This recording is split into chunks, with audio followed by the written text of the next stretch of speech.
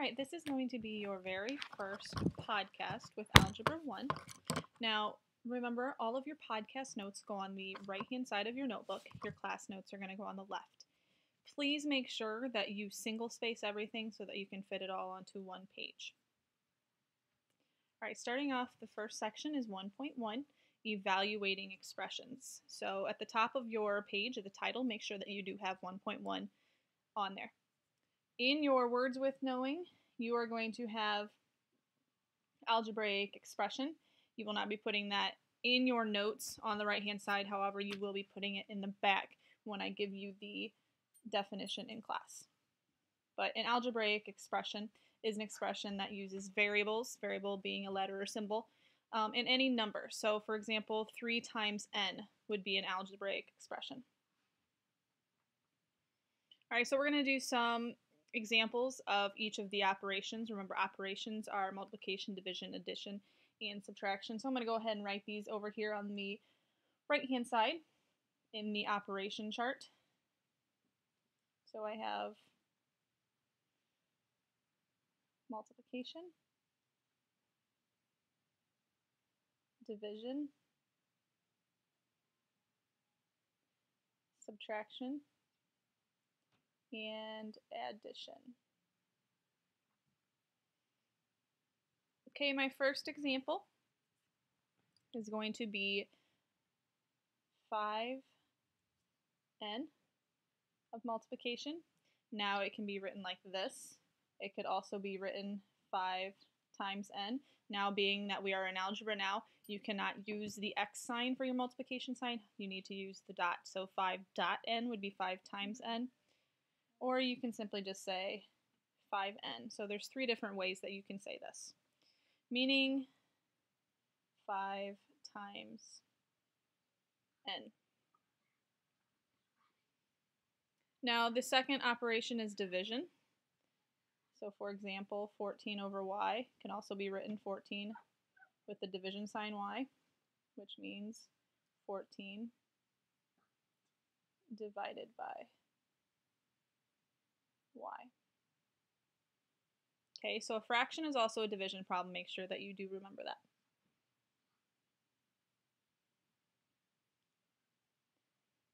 Eight minus x would be an example of a subtraction algebraic expression.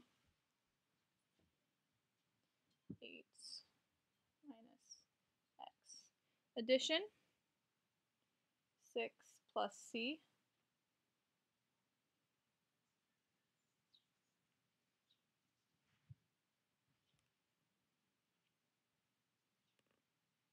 Good. All right, now to evaluating expressions. Evaluating expressions. So looking at example one, evaluate the algebraic expression when n equals 3. So evaluating means that you're going to be solving it down to the simplest form. So 13 times n equals 13 in parentheses n. Again, like I showed you guys in class, showing work means that when you substitute values in, you need to make sure that you're substituting them into parentheses. So 13 times 3 is 39.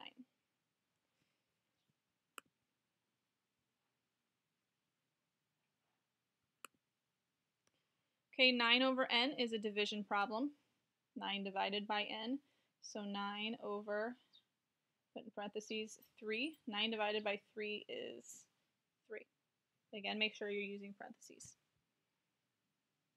Okay, I want you to do C on your own. Letter D. Remember, it is important that you are showing all of your work. So you notice um, I may know the answer in my head, but I'm going to show every single step. By doing every step, it's going to eliminate the simple errors. So 3 plus 8 is 11 a little behind here. Okay, you don't have to write the entire word problem down in your notebook. However, please make sure that you're writing down at least the expression and solving for it.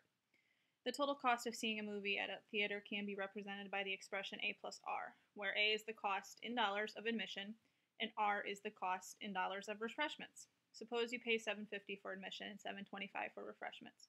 Find the total cost. So again, it said the key is the, the very first sentence, which tells us the total cost of seeing a movie is represented by that expression. Okay, so here's the expression A plus R. A is the cost of admission, which they said is 750.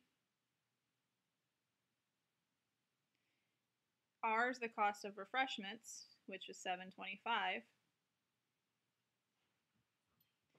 So 750 plus 725 is $14.75.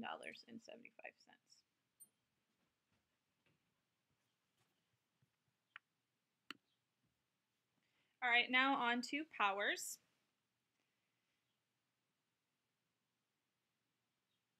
Okay, on the left-hand column, we do have the powers. We're going to write them in words and then find the total product and what the answer is.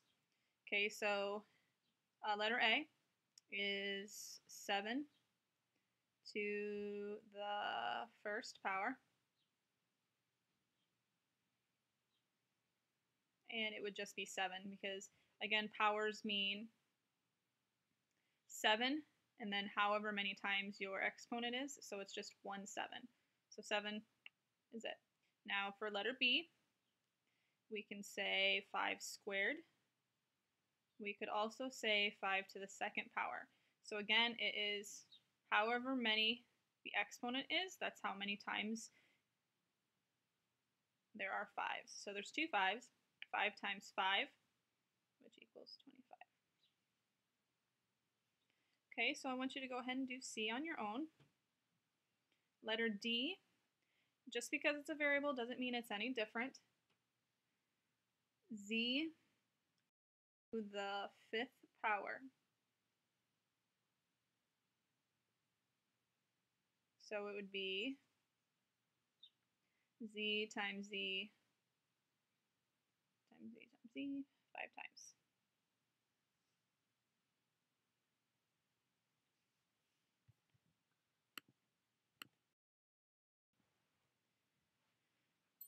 All right, example three says evaluate the expression. We're going to do basically what we did uh, with evaluating algebraic expressions. This time we now have powers that are involved. So letter A, we have x to the fourth power when x equals 2. So just like I said, we're going to show work. 2 to the fourth power, which means 2 times 2 times 2 times 2 and we simplify that down and that's 16. Okay, go ahead and try letter B. So again, this concludes the podcast for 1.1 evaluating expressions. Some of the key terms that we talked about in this this section was algebraic expression and then also powers. So in class, we will be putting those into our words worth knowing to be able to explain them a little bit better.